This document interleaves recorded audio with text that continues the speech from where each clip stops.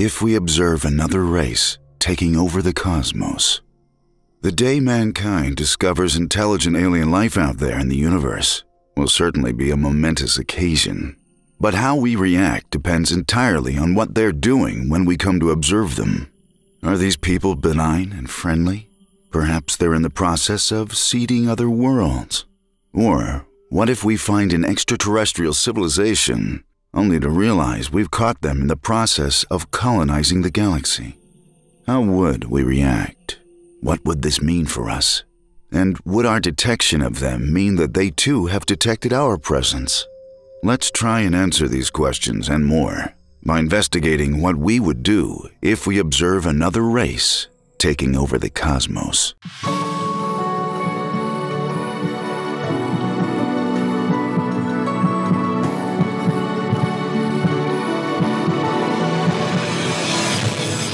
Number 3. The First. Dr. Stephen J. Olson is a member of Boise State University's Department of Physics and in his paper, Long Term Implications of Observing an Expanding Cosmological Civilization, he asserts that large expansionistic alien races are far more likely to be observed than isolated, average civilizations. He bases this assumption on the fact that the technology mankind possesses at present limits us to observing only those civilizations who are capable of making a huge impact on a galactic scale. It's like trying to find your car late at night after a show. If everything is dark, it's going to be hard to find your ride home. Unless your car is on fire, in which case it'll be super easy. If an alien civilization is on the same level we are, we can't ever hope to contact them since both of our communication methods would be equally limited in range. However, if a Kardashev 2 or 3 civilization exists out there in the universe, we are far more likely to be able to observe them, since a civilization at this level is able to manipulate one or more stars. We can see the stars easily, and we can therefore detect if anyone is fiddling around with them. This is something we may have witnessed already, with the bizarre flickerings of Tabby's star yet to be fully explained.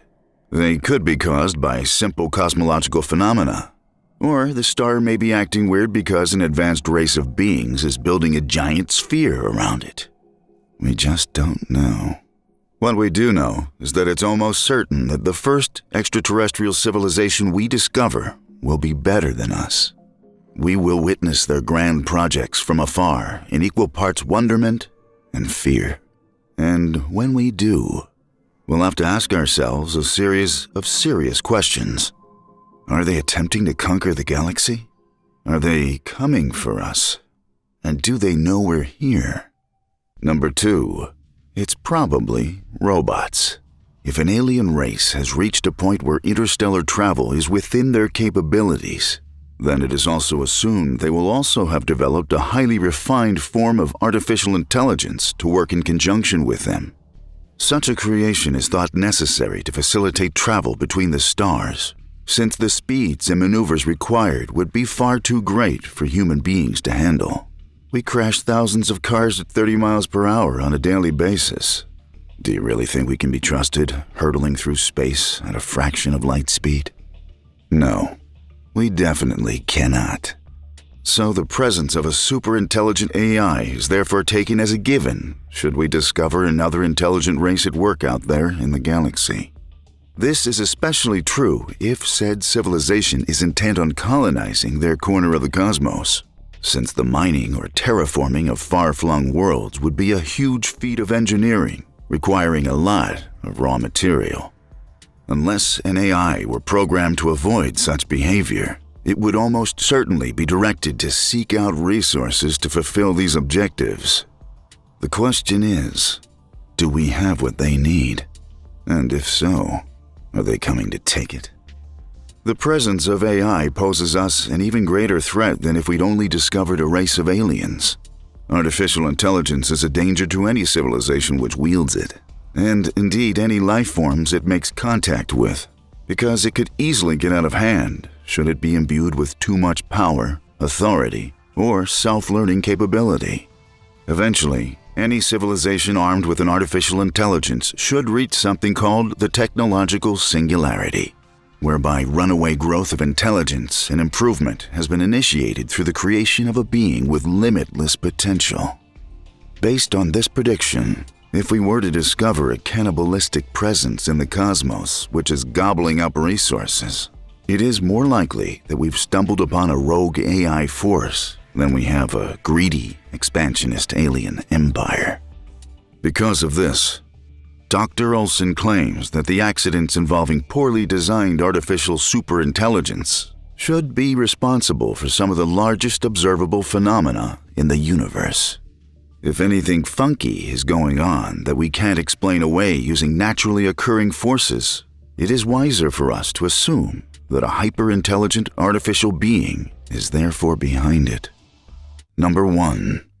Can they reach us?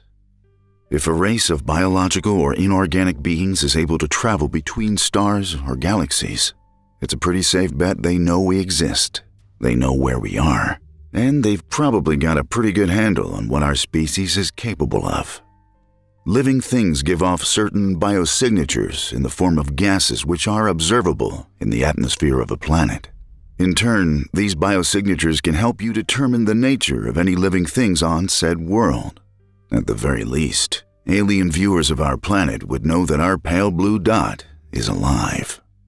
And if they were sufficiently advanced, it's likely they'd have even more refined technologies which were able to analyze our impact on our own solar system and judge us on our capabilities.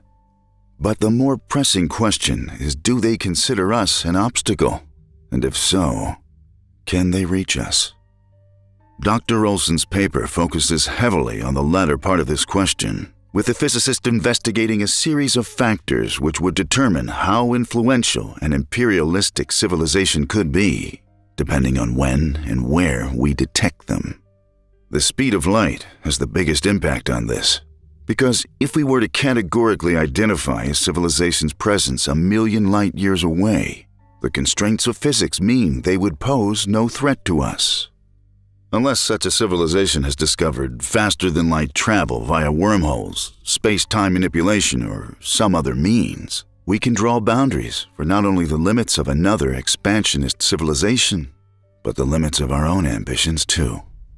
If we wanted to, we could draw a map of the universe right now and draw circles radiating out from every known star to estimate the maximum possible sphere of influence an inhabitant civilization would enjoy. Ours would be small initially, growing large as technology improves. But it's likely there is an upper limit at some point. Even so, it has been calculated by Dr. Olson that our own sphere of influence would be severely impacted should a more technologically able civilization be discovered within our neck of the woods.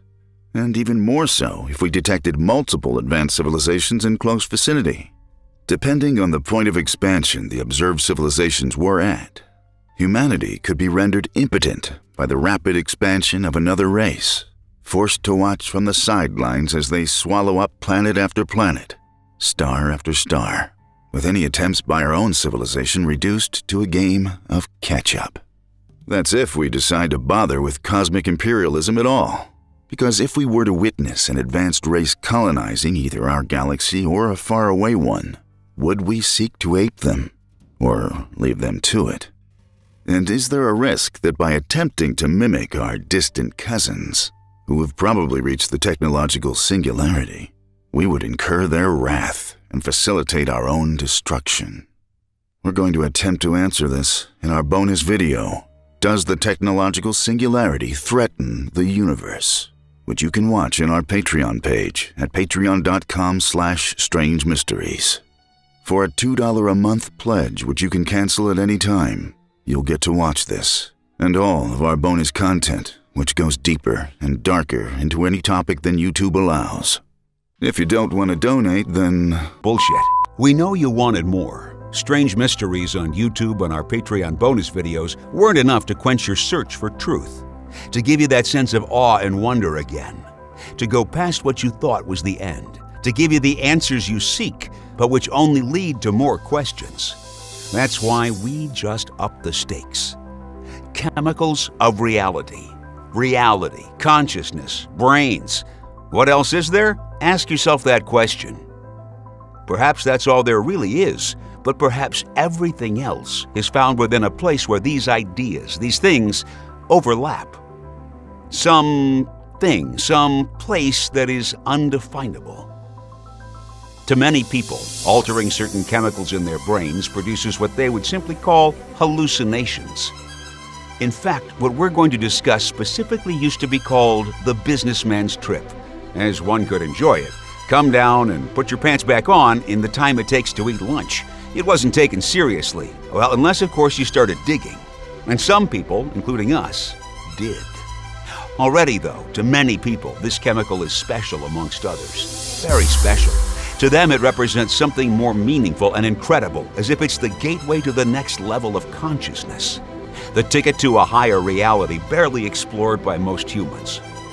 It is the entry point to a new reality, visited by only a select few whose minds have become enlightened through the use of this exotic substance. For this reason, it's commonly referred to as the spirit molecule. But is its reputation as a mystical mind opener deserved? Or is it and everything it represents just a load of bullshit? We look at, investigate, and dive deeply into nearly all available research regarding this question from nearly every angle feasible.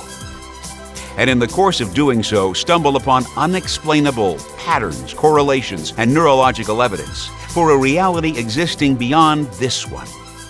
Watch this hour long Strange Mysteries premium video chemicals of reality, as well as many more to come by becoming an elite premium member of our Patreon at patreon.com slash strange mysteries.